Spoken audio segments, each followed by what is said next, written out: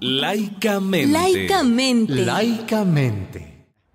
Bueno, eh, ahora mismo eh, sería importante revisar eh, este código penal que, que, termina siendo una persecución en muchos sentidos, ¿no? una violencia contra la sociedad civil en muchos sentidos, a las organizaciones, a las mujeres.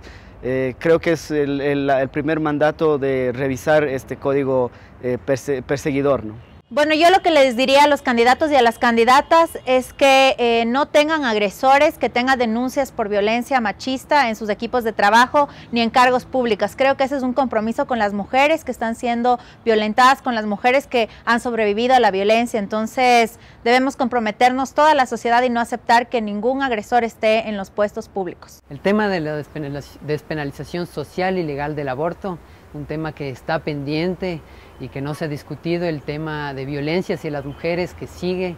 Seis, de cada diez mujeres son violentadas en el Ecuador y es un tema que no quieren hablar. Conoce tus derechos para decidir laicamente.